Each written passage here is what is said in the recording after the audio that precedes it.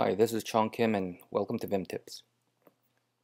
Today we're going to talk about how to maneuver around your files. So the first topic is folding. So let me open up a file. Let me split this and bring up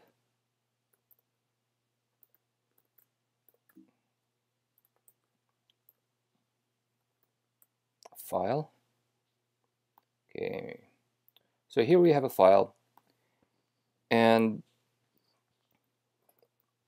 to to enable folding it's convenient to first set the the folding column which is short the short one the short form is FDC for fold column. So set FDC equal to 4 and that creates a gutter of four characters over here.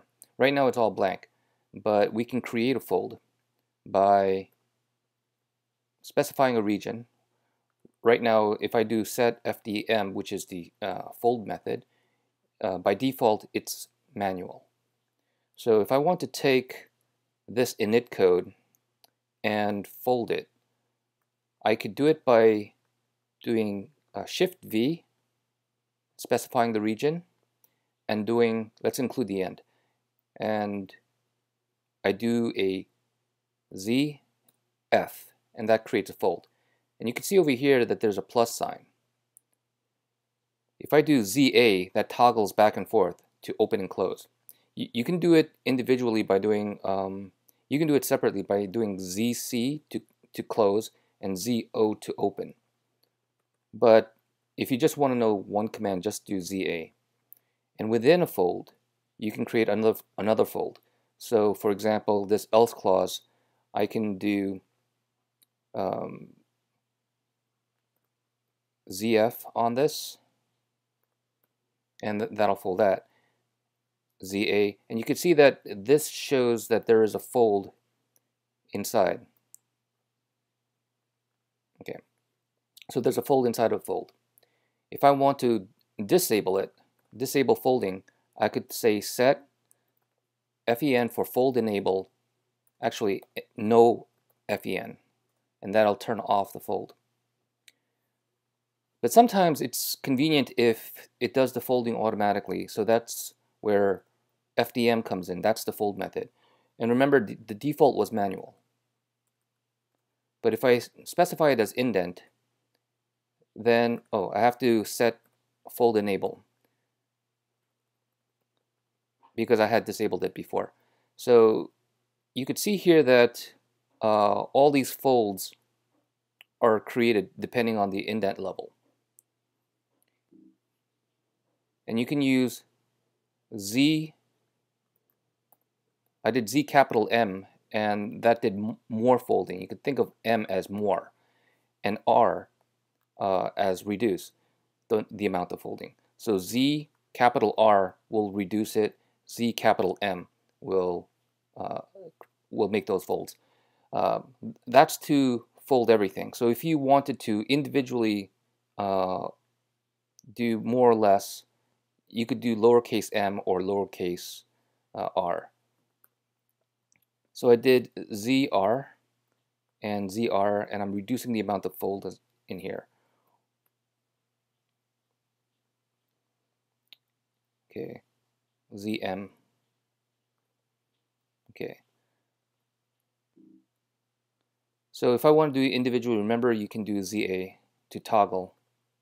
Okay, and that'll do it for the individual ones and the others are are left. So ZM, ZR, those are for the fold levels. So that's folding. So let me get rid of the folding. Um, no set, no FEN. Okay, so and let me get rid of the uh, set FDC to back to zero. And so now I don't have folding. Okay, so next thing is GF. GF is uh, fairly useful. And the way that that works is if you're on a uh, like an imported file, in this case I'm requiring a piece, you could type GF. But in this case, it returned me an error. It says uh, can't find file. The reason why is because it's not in your path. So if I uh, the path is an option. So if you say set path, it'll show you the the value that that it has right now. And this is the the path that it has, and it doesn't include the lib. So and, and, and the piece is living in the lib directory. So for example, if I go into the lib, oops, um, uh, let me cd into my uh, where the code is living, the project root. Okay, and it's living in my lib directory. So if I go lib piece, that's where it is. So I want to include lib in my path, so I have to say set path plus equal. This will add to the file. I mean add to the path. So I'm going to add uh, lib. And now if I do gf, that brings up the file. So you, you can keep on adding more directory paths as, as you need them, and it'll go and find it. So that was GF. Now, sometimes you still want to have the original file here uh, so you can compare and look at it for reference. So instead, you could use command, uh, sorry, um, Control W, Control F. So if I if I'm on on this file right now and type Control W, Control F, that brings up the file in a separate window, but it still has the old file uh, still around so you can take a look at it. So that was Control, uh, Control W, Control F. Remember, Control W is all the window commands. Okay. GD.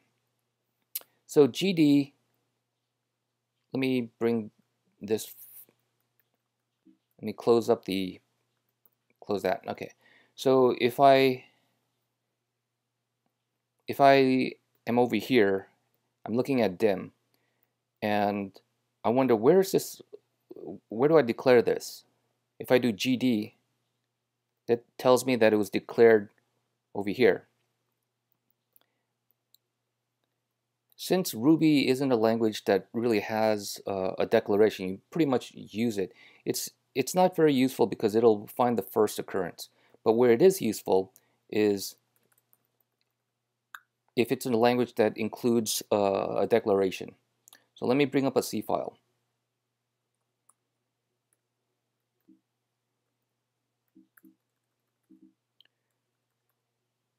Oh, CD. And let me see, position. Okay, so here I have a file. I have two variables here. One is a global and the other one is an argument that's passed in. So here I, I say board and pretend that this is a very long file. And if I do gd, that brings me to where the, the local uh, declaration of, of, of, the board.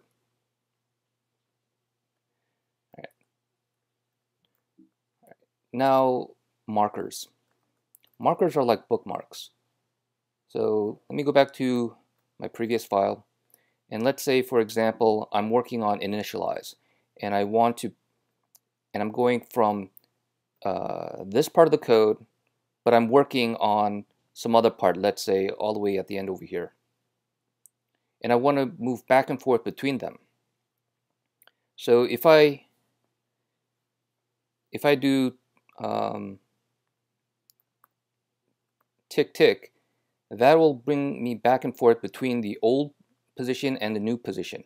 So what I need to do is uh, find out what that other position is. This is line 134. Okay, keep that in mind. And this is line 10. So I go to uh, 134 capital G.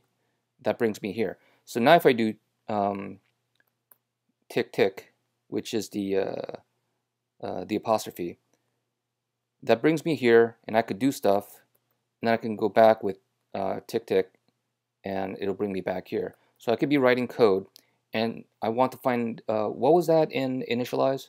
Tick tick brings me back to initialize. All right, and then tick tick, then I'm back here uh, coding. So this is a very quick way for you to uh, go back and forth between uh, two, two pieces of code that are in the same file. Now, if you want to new if you want to find uh, this only goes back and forth between the last two. But if you want to name certain areas uh, and, and create these bookmarks, you can use the M command. So I could, so right now, uh, if I want to name this as A, you can, you have uh, 26 letters to choose from. So I do M A. This is not a colon, it's just M A, and that marks it as A. And let's say I go someplace else over here and mark this as B. I do M B. So now I have A and B.